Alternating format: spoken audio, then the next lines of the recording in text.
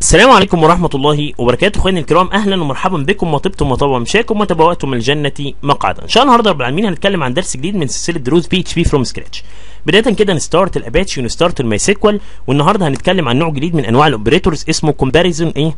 comparison operators المعاملات الخاصة بإيه؟ بالمقارنات من اسمها. هنا على سبيل المثال less than هنا بشوف مثلا هنا ده ال operator الخاص بعلامة ال less than. هل هنا بشوفه عشان استخدمه في المقارنة بين متغيرين. بقول له هل المتغير A؟ less than قصدي sorry المتغير B less than المتغير B أقل من المتغير B.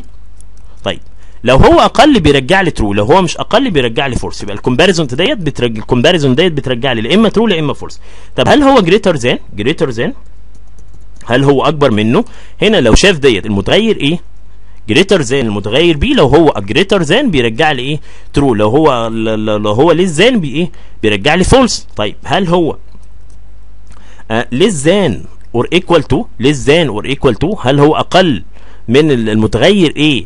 أقل من المتغير أقل من المتغير B أو بيساويه؟ دي معناها بالظبط كده كأنك بتقول له less than or equal to هل هو أقل منه أو بيساويه؟ لو هو أقل منه أو بيساويه بيرجع true طيب هنا على سبيل المثال كأنك بتقول له greater than هل هو أكبر منه؟ greater than or equal to هل هو أكبر منه أو بيساويه؟ هل هو أكبر منه أو بيساويه؟ هنا على سبيل المثال لو هنا قلنا له greater المتغير A؟ greater than or equal to.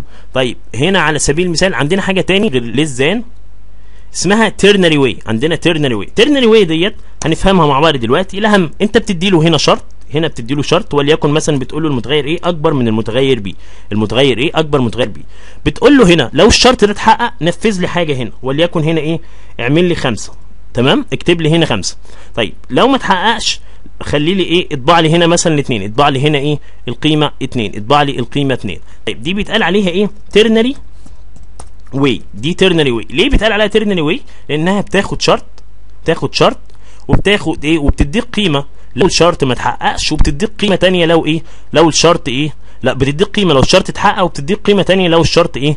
ما اتحققش. دي بيتقال عليها ternary way ودي هنستخدمها إن شاء الله رب العالمين في حالة إيه؟ أما بعمل condition كده وعاوز أتحقق منه وعاوز أنفذ حاجة. لو اتحققت لو اتحقق ونفذت حاجة لو إيه؟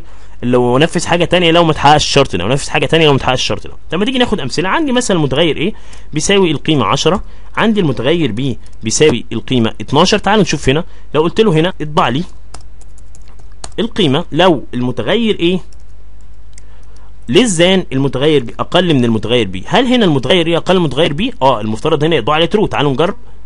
F 5 راح فعلا طابع لي إيه واحد. طب هل هو اكبر منه المفترض هنا لا false فهنا مش هيطبع لي حاجة. لو عملت F 5 فعلا إيه ما طبعش حاجة.